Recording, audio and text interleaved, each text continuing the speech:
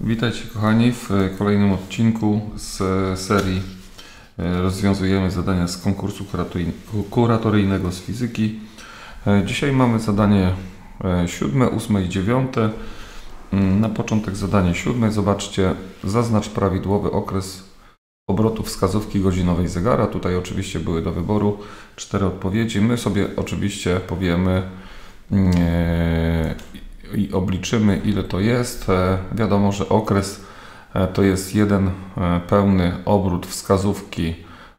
Tutaj mamy do czynienia ze wskazówką godzinową, czyli jeden pełny obrót. Słuchajcie, to jest oczywiście e, 12 godzin, czyli T równa się e, 12 e, godzin.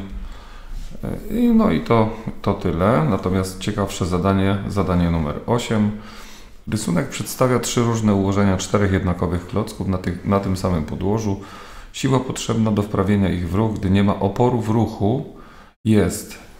No i tutaj zastanówmy się, jaka jest ta siła mm, potrzebna do wprawienia ich e, w ruch.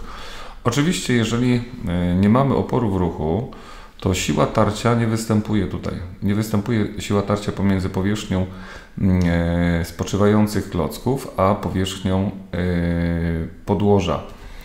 E, Czyli jeżeli przyłożymy siłę do takiego układu, czy to będzie siła dla takiego układu czterech klocków, oczywiście one są połączone ze sobą, czy dla takiego, tak, to czy tutaj w pozycji trzeciej, to e, w żadnym z tych przypadków, ani w pierwszym, ani w drugim, ani w trzecim, nie będzie działała siła oporów. Siły oporu to oczywiście siła oporu powietrza, no i siła tarcia, tak? Nie działa tutaj tarcie. W takim, e, w, e, mm, w tym wypadku oczywiście, jeżeli mamy do czynienia tylko z siłą wprawiającą ciało w ruch, to ciało będzie poruszało się ruchem jednostajnie przyspieszonym i zgodnie ze wzorem A równa się F przez M. Oczywiście tutaj e, nie, nie ma żadnych oporów ruchu, więc w każdym z tych trzech przypadków siła potrzebna do wprawienia e, ciała w ruch jest e, taka sama, e, czyli odpowiedź, e, że taka sama. I mamy dziewiąte zadanie, troszkę ciekawsze. Oblicz wartość siły, jaką trzeba zadziałać na spoczywającą piłkę lekarską o masie ma 3 kg, aby w czasie 4 sekund jej prędkość wzrosła do 4 metrów na sekundę. E, Mamy, wypiszmy sobie dane, wypiszemy sobie dane do tego zadania. Mamy tutaj masę piłki. Masa tej piłki to 3 kg. E, I teraz e, mamy tą piłkę. I mm, słuchajcie, musimy, za, e, musimy obliczyć siłę, z jaką należy zadziałać na tę piłkę, aby e, jej prędkość, tak, bo ona spoczywa, aby jej prędkość wzrosła e, w czasie 4 sekund do 8 metrów na sekundę. Czyli oczywiście prędkość początkowa tej piłki jest równa 0 metrów na sekundę. Prędkość końcowa to oczywiście 8 metrów na sekundę.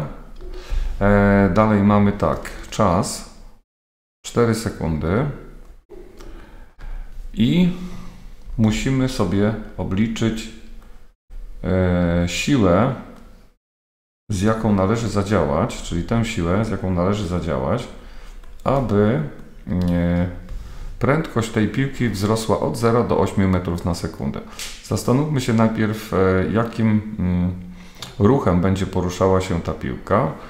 Oczywiście nie ma tutaj mowy o oporach, więc e, jeżeli na ciało działa stała, niezrównoważona siła, to zgodnie z drugą zasadą dynamiki ciało porusza się z przyspieszeniem A, które jest wprost proporcjonalne do e, działającej siły, a odwrotnie proporcjonalne do masy ciała. Czyli tym większe przyspieszenie uzyska ciało, jeżeli działa większa siła, i tym mniejsze przyspieszenie uzyska ciało, gdy masa tego ciała będzie e, większa.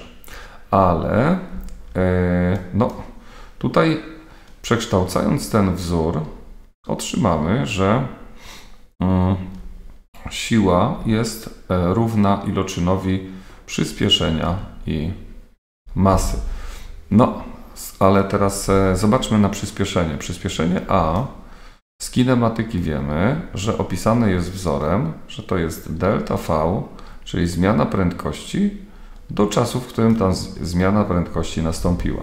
Ponieważ delta V u nas będzie e, równała się e, prędkość końcowa, odjąć prędkość początkowa przez t, ale widzimy, że tutaj prędkość początkowa wynosi 0, czyli nasze przyspieszenie to prędkość końcowa przez czas.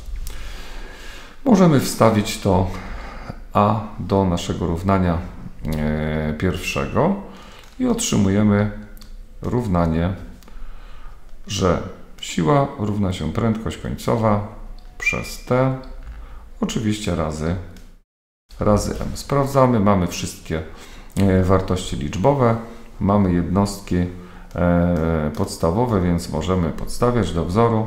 Prędkość końcowa 8 metrów przez sekundę razy 3 kg i Działo się to wszystko w ciągu 4 sekund.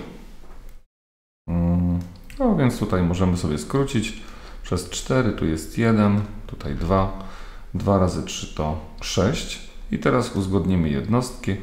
Oczywiście yy, zapiszmy sobie kilogram razy metr przez sekundę przez sekundę. I tutaj mamy, że yy, dzielimy przez sekundę, e, więc to idzie do mianownika, czyli możemy to zapisać, że jest to kilogram razy metr przez sekundę kwadrat, a jak doskonale wiemy o tym, e, taka jednostka to jest oczywiście newton, czyli wychodzi nam, że to jest 6 newtonów. I taką odpowiedź, e, mm, i taką odpowiedź podajemy. Dziękuję i zapraszam na kolejne odcinki.